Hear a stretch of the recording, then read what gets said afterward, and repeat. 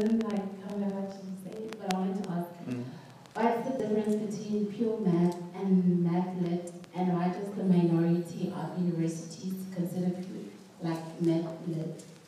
Okay. Uh, you find. Can you get another one? Oh, okay. Second question, while still there?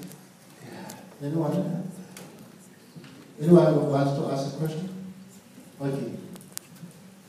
Okay, so the second, this thing. Okay, so, uh, first of all, in all around the world, South Africa is the only one that gives two types of maths, eh? Because in this world, there's only maths. Math literacy is some invention that is really messed up.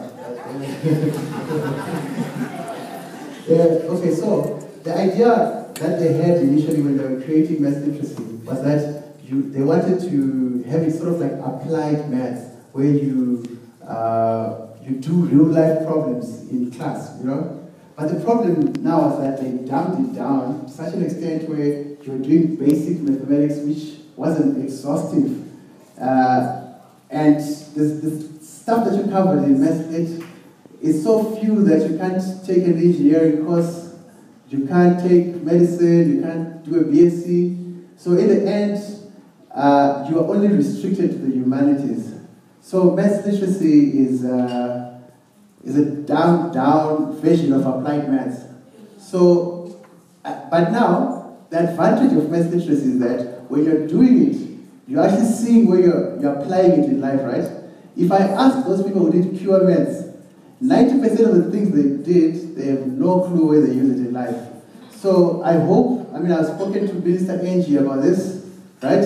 Where we say, if you can take maths lit and maths and put them together such that you don't compromise on content, but at the same time, people know where they're using that in life.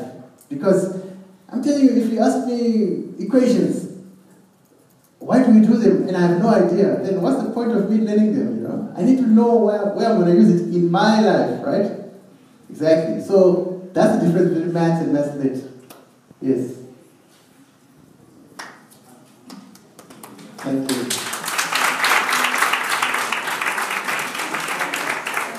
Uh, thank you, Mr.